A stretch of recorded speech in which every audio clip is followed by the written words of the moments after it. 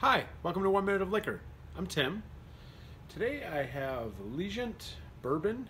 Uh, this is one of the newest uh, products from Beam Suntory.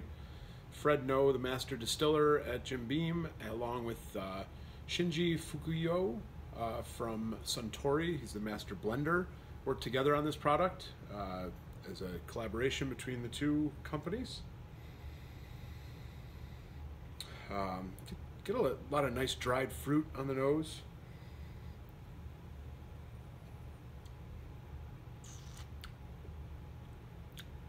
Very sweet up front. Get a like a nice caramel toffee flavors, but then uh, that, like a dried apricot, dried fruits settle in, along with uh, kind of a hint of uh, pepper on the finish.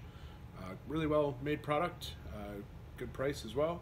Legent uh, in one minute of liquor. Cheers.